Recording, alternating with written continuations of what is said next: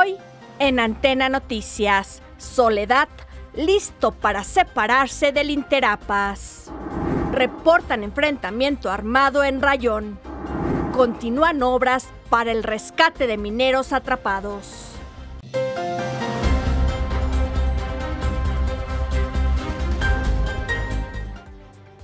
¿Qué tal? Bienvenido a Antena Noticias, soy Verónica Martínez, los saludo con mucho gusto ya, viernes 5 de agosto. Esta es la información más importante de las últimas horas. La secretaria general del Ayuntamiento de Soledad, Yolosochil Díaz López, aseguró que en este mes se presentará ante la Comisión de Agua del Cabildo una solicitud para separarse del organismo intermunicipal de agua potable y saneamiento, el Interapas.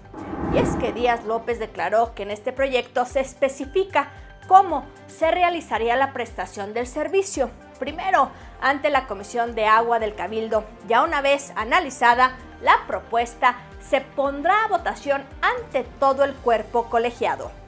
Según la funcionaria, esto se deriva a la molestia general, pues más del 70% de la población del municipio tiene problemas con el servicio que actualmente otorga el Interapas. En asuntos de seguridad, otra jornada violenta se vivió al interior del estado. Ahora, elementos de la Guardia Civil Estatal informaron que la tarde de ayer jueves se logró desarticular una célula del crimen organizado que dejó un saldo de 13 muertos y 2 detenidos.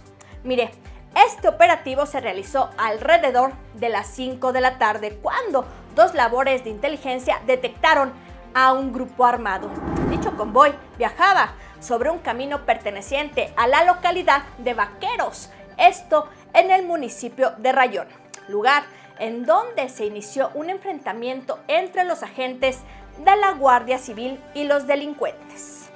Como resultado de este ataque se reportó que 13 presuntos delincuentes murieron, además de la detención de dos sujetos más que participaron en la agresión.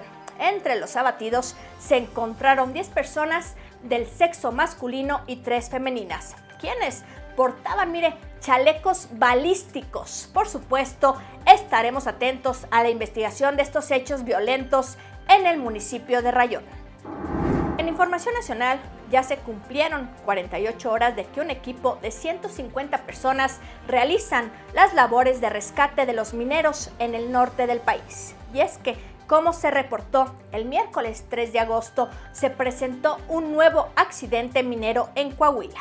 Cerca de la 1.35 pm se registró un derrumbe al interior de un pozo de carbón ubicado en el área conocida como Conchas del municipio de Sabinas. Dicho derrumbe provocó una inundación que dejó a una decena de mineros atrapados y rodeados por túneles llenos con hasta 34 metros agua. Ahora las autoridades mexicanas han empezado a agilizar las labores de rescate debido a que se han percatado que los niveles de agua en el lugar se han incrementado. Miguel Riquelme, gobernador de Coahuila, declaró en entrevista que se ha dificultado la operación debido a que los planos de la mina no estaban actualizados. El mandatario estatal señaló que su administración se encuentra atendiendo a las familias de los 10 mineros atrapados, manteniéndolos informados. Bueno, mire, se cuestiona por supuesto la falta de medidas de seguridad ante un trabajo de alto riesgo. Sin embargo, de momento es enfocarse en las delicadas labores de salvamento. Son horas cruciales, es un rescate contra reloj. Momentos de angustia son los que están viviendo las familias de los mineros. Seguiremos, por supuesto, el curso de las operaciones de búsqueda. Se espera un auténtico milagro para así rescatar a los trabajadores de las entrañas de esta mina de carbón. Siga minuto a minuto esta y toda la información más importante de San Luis Potosí, México y el mundo a través de esta plataforma de Antena San Luis. Esto es Antena Noticias. Soy Verónica Martínez. Excelente fin de semana. Cuídese mucho.